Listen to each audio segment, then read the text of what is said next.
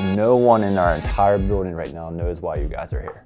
Like they have no idea. We're gonna be asked some questions and they have no idea how to respond to it. Nothing scripted. They have no idea what's about to hit them, so we're kind of excited about it.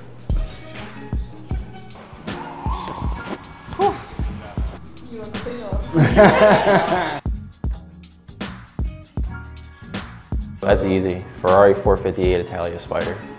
Nissan GTR R34. Car outside.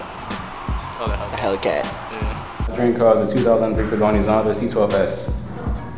Mine would be a Bugatti. I mean, I'm just saying in the all carbon fiber edition one. I would probably go with the Phantom. You're definitely not gonna learn this overnight. So you definitely gotta put in your time.